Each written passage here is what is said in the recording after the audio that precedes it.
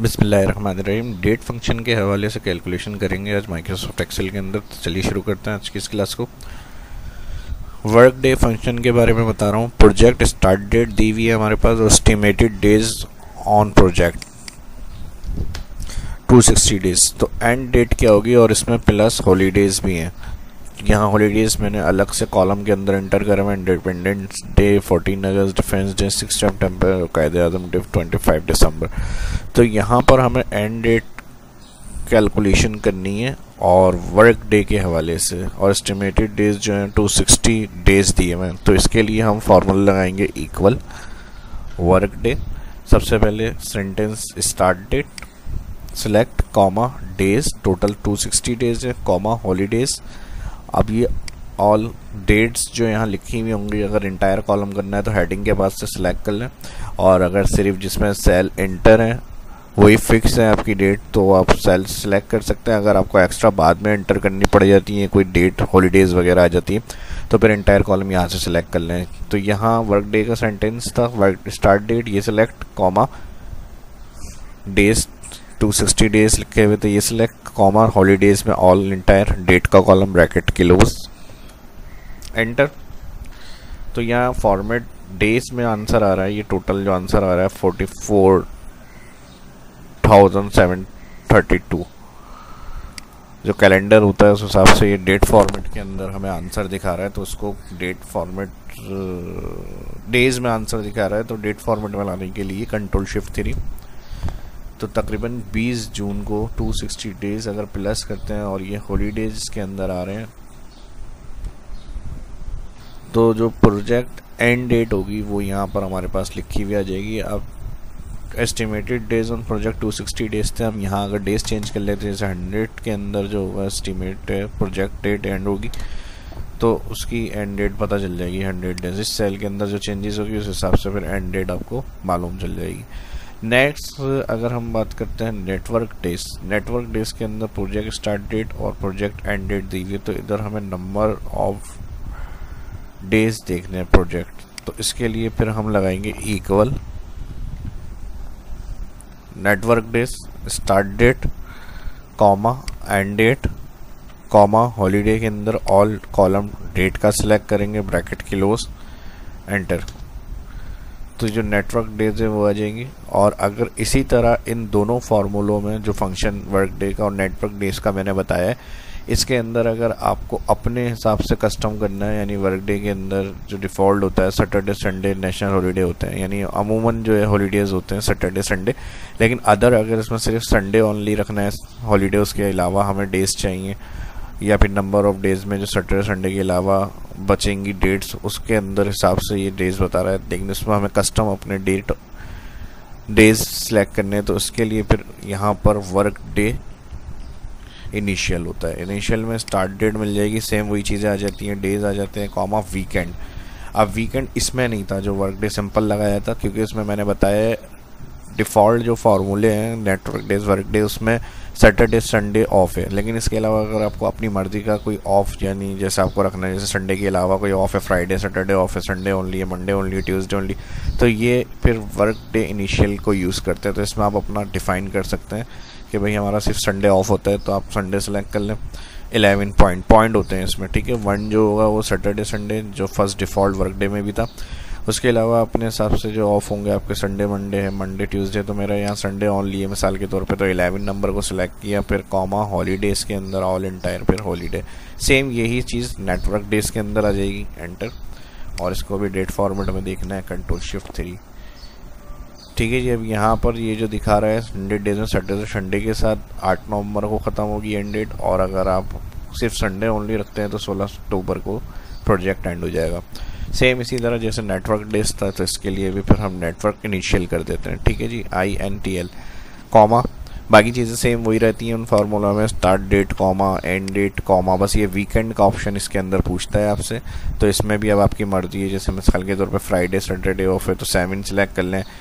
यहाँ पे भी संडे सेलेक्ट कर लेते हैं कि भाई सिर्फ़ संडे ऑफ़ है तो यहाँ पर एलेवन का जो आ रहा है ऑप्शन ये सिलेक्ट हॉलीडेज़ के अंदर ऑल कॉलम सेलेक्ट ब्रैकेट के लोग ठीक है जी तो दो दिन यहाँ पर आपके बढ़ गए।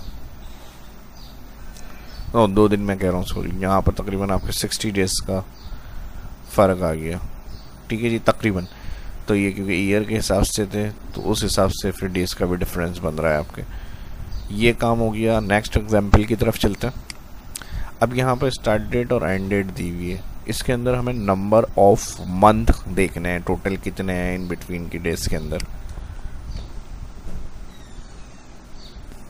तो इसके लिए हम फार्मूला लगाएँगे equal bracket open year bracket open और सिलेक्ट करेंगे एंड ईयर वाली डेट एंड डेट और फिर उसके बाद ब्रैकेट क्लोज ईयर का minus again year function select start date again bracket close और ये बोर्ड मास मेथड यूज़ किया था हमने। ईयर से पहले ब्रैकेट ओपन किया था तो यहाँ पर दोनों ईयर सेलेक्ट करके माइनस करा कर ब्रैकेट क्लोज कर दिया इसका भी। ये मैं बता रहा हूँ आपको नंबर ऑफ़ मंथ काउंट करने के लिए, ठीक है जी? फार्मूला तो उसके बाद दोनों ब्रैकेट क्लोज मल्टीप्लाई कर देंगे ट्वेल्व और फिर उसके बाद plus month select end date month bracket open के बाद, उसके बाद फिर माइनस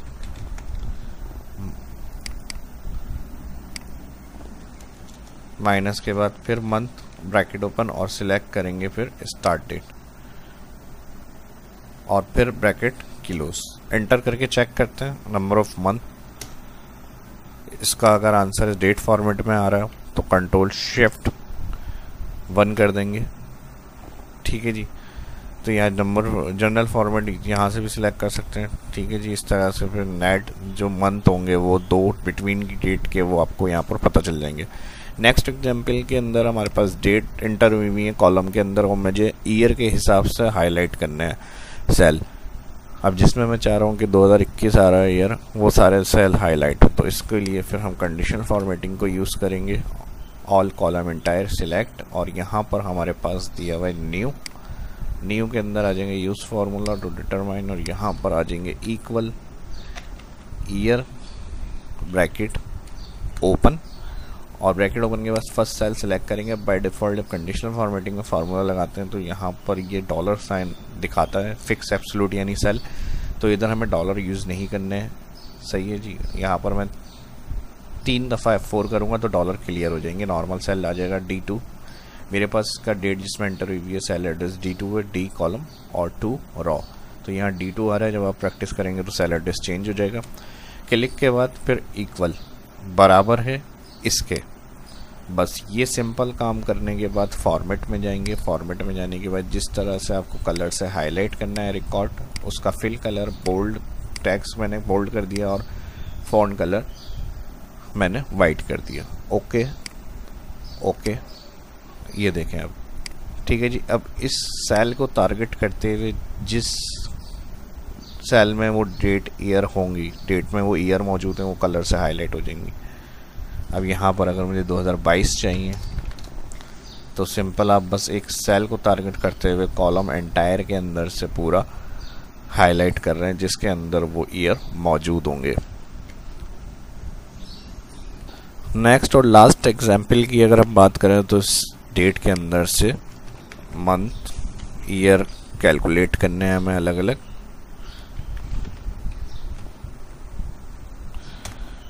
ईयर के लिए year function cell click bracket close enter separate separate करके आप मंथ ईयर कैलकुलेट कर सकते हैं। और मंथ के लिए month select bracket close enter drag day day function आ जाएगा। सेल डेट वाला first cell select bracket close enter और ड्रैग तो डेट में से अगर स्ट्रैक ईयर मंथ या डे करना है तो वो मैंने बता दिया किस तरह से कर सकते हैं। एंटायर ऑल सेलेक्ट और अलाइन सेंटर और अगर मान लीजिए अगर ईयर मंथ डेज़ अलग सेपरेट कॉलम में आ जाते हैं और उसको कंप्लीट डेट फॉर्मेट में देखना होगा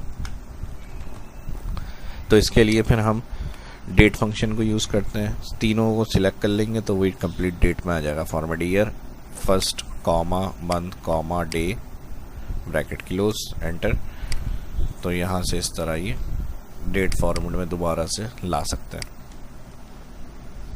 तो यही थी सभी चीज़ें जो आज की इस वीडियो के अंदर आपको बतानी थी और उम्मीद करता हूँ वीडियो अच्छी लगी होगी। लाइक करें, ज़्यादा से ज़्यादा मिलते हैं नेक्स्ट वीडियो में। शाह इस्लाम को इजाज़त दीजिए। अल्लाह हाफिज़।